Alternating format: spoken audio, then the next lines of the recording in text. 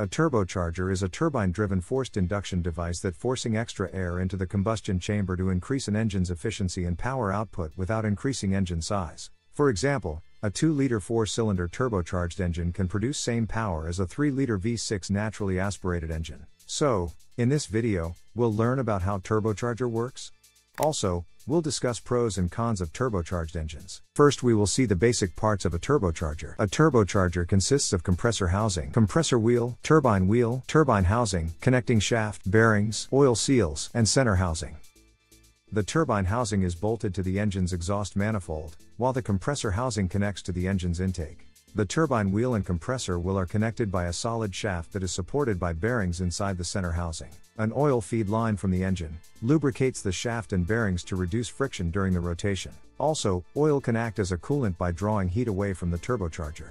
Now, let's see how does turbocharger work? The turbine housing collects the hot exhaust gases, which flow out from the engine and hits it to the turbine wheel with substantial pressure that rotates turbine wheel up to 2 lakh rpm. Since the turbine wheel and compressor wheel are connected by the same shaft, the compressor wheel also begins to rotate simultaneously. As the compressor will spin, it draws in air from the atmosphere, which gets compressed and converts low pressure air into high pressure air. This compressed air is directed by the compressor housing into the engine's intake manifold through a pipe. But, the not over yet. The compressed air can get very hot, and that's where an intercooler comes into play. An intercooler is usually installed between the turbocharger's compressor and the engine's intake manifold to cool down the temperature of the compressed air and increase its density. More dense air means more oxygen, which allows the engine to burn more fuel and produce more power at the normal atmospheric pressure.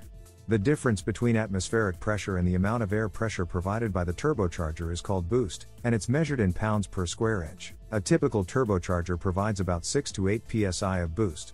Since normal atmospheric pressure at sea level is around 14.7 psi, that means you're getting roughly 50% more air into the engine. Therefore, you could expect to get about 50% more power.